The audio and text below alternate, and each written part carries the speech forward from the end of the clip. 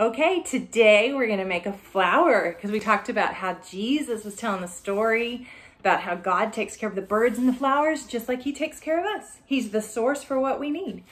You're gonna need your picture of your flower here and then your squares of tissue paper. This is tissue paper in lots of different colors.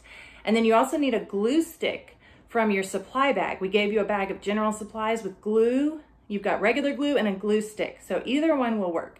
I'm gonna use a glue stick. So I wanna make my flower super colorful. And in order to do that, I'm gonna start with one section. Do you see how this is one section? And this is one section. And these are the petals, and then that's the middle section. I'm just gonna work on one section at a time. And get my glue stick, and you're gonna do, I'm gonna do the petals first. I think I'm gonna do the petals in green. Now you can make your flower however you want. But I'm gonna put a little bit of glue on my green. In fact, I'm just gonna do like half of it to start because I don't want my glue to get dry. So you see the purple where I put the glue there?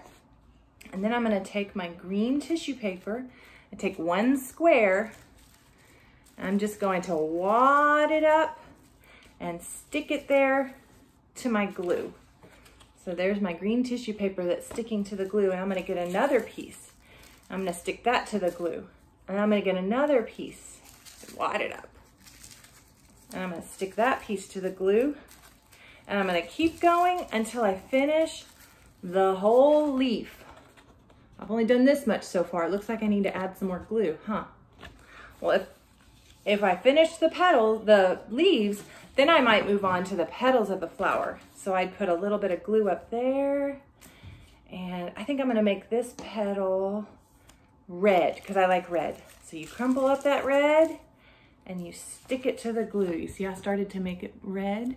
Now you could make your whole flower the same color or you could do each petal a different color. It's up to you. But what you wanna do is cover all of the white that is inside the petals and inside the leaves. You wanna make sure all that white is covered. And then the last part, most important, read what it says there or have mom or dad read it to you.